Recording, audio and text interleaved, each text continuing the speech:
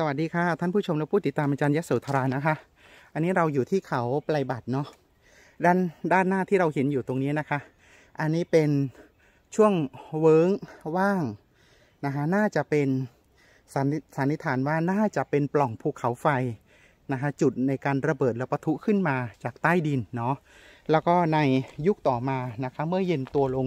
ตรงนี้นะคะน่าจะเป็นสถานที่หนึ่งในการเก็บ เก็บกักน้ำได้ในยุคโบราณเมื่อ 900ถึง1,000 ปีที่แล้ว สามารถเก็บกักน้ำได้ เมื่อมนุษย์ได้ขึ้นมาบนเส้นทางนี้นะคะ นี่คือเส้นทางที่เราเดินขึ้นมาเมื่อตะกี้นี้นะคะอ่าเราก็สามารถที่จะมาเป็นจุดพักอาของเรา แล้วก็ตรงนี้นะคะน่าจะเป็นได้ทั้งน้ำดื่มน้ำอาบน้ำใช้นะคะ สามารถเก็บเก็บกักน้ำได้ จากการที่เราไปภูเขา พนมรุ้งนะคะ ด้านบนที่เป็นปล้องภูเขาไฟนั้น ก็สามารถเป็นที่ในการเก็บกักน้ำได้ แต่ในปัจจุบันเนี้ยนะคะก็จะเป็นในลักษณะของสภาพที่ตื้นเขินเนาะเพราะว่าหนึ่งไม่มีการขุดลอกนะคะ แล้วก็จะมีฝนตกลงมาจากข้างบนภูเขานะคะ ก็จะมาเนืองนองอยู่แถวบริเวณนี้นะคะ ก็จะเป็นพวกต้นไม้ใบไม้ต่างๆนะคะนี่สุริยาอันนี้ปล้องภูเขาไฟแล้วก็อันนี้เป็นบารายใช้ใช้เป็นบารายเป็นที่เก็บน้ำโบราณด้วย ตรงนี้นะคะอ่าก่อนที่เราจะขึ้นไปบนภูเขานะคะ ตรงนี้เนาะโอเคค่ะนะคะ เสร็จแล้วเนี่ยเราก็จะเจอป้ายเป็นป้ายที่ 4 ของเราตรงนี้นะคะท่านผู้ชมนะฉะนั้นบนเขาเนี่ยเวลาผู้คนที่เขาขึ้นมาเนี่ยเพื่อที่จะกราบไหว้สักการะบูชาเทพเจ้าเนี่ยมันจะต้องมีจุดจุดหยุดพักของเขาที่เขาสามารถดื่มกินอาบพักผ่อนอาอยู่ใต้ต้นไม้นะครับเพราะมนุษย์เนี่ยจะต้องอยู่อ่า ใกล้ต้นไม้ แล้วก็ใกล้แม่น้ำในการที่เขาจะต้องใช้ต้องอะไร ดังนั้นตรงนี้อาจารย์มีความคิดนะคะ แล้วก็มีการวิเคราะห์พิจารณาด้วยหลักฐานว่าตรงนี้น่าจะเป็นสถานที่หนึ่งในการเก็บน้ำและถูกการเก็บน้ำในสมัยโบราณ แล้วก็มีน้ำที่กักขังอยู่ที่นี่ด้วยนั่นเองนะคะท่านผู้ชม แล้วก็อีกที่หนึ่งโอเค อันนี้ก็คือเราจะขึ้นไปบนปราสาทแล้วนะคะ นี่เราก็จะไปอีกประมาณอ่าเวลาเท่าไหร่ตัวนี้นะคะนี่อันนี้ก็จะเห็นเส้นทาง เห็นเส้นทางขึ้นมาเห็นไหมโอ้น่ากลัวมาก เส้นทางเนี่ยนะฮะ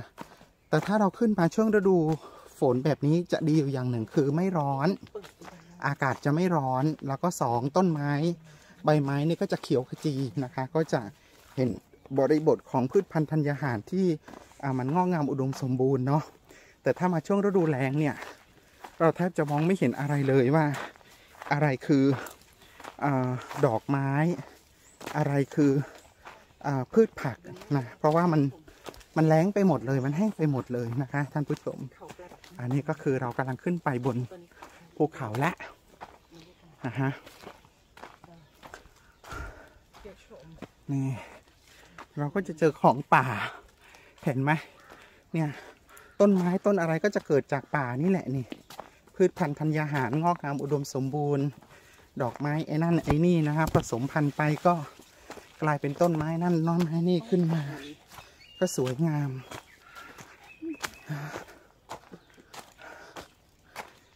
ก็จะเกิดไปเยอะแยะเต็มไปหมด อันนี้เป็นภูเขานะคะนู่นนู่น เราต้องขึ้นไปภูเขาอีกลูกหนึ่งนะคะ นี่เป็นภูเขาอีกลูกหนึ่ง เดินขึ้นไปอีกจ้าแต่ภูเขาเนี่ยก็เป็นชิ้นๆ เป็นชั้นๆนะ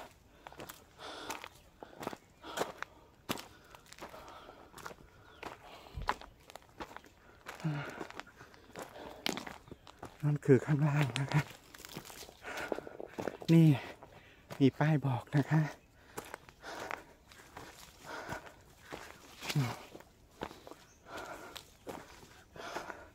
นี่คือขึ้นมันจะยากแบบนี้นิดหนึ่ง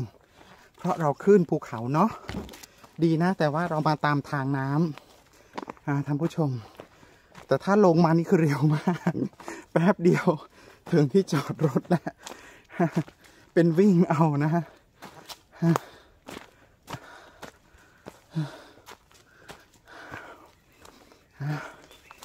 จะพยายามเก็บภาพให้ทุกท่านได้เห็นเนาะว่า นี่คนโบราณ ดูความคิดของคนโบราณสร้างนะฮะ ว่าเขาต้องขึ้นมาสำรวจยังไงแบบไหน นี่ฮะนักศึกษาไต้หวันนะฮะ ต้องมาดูของไทยแบบนี้แหละ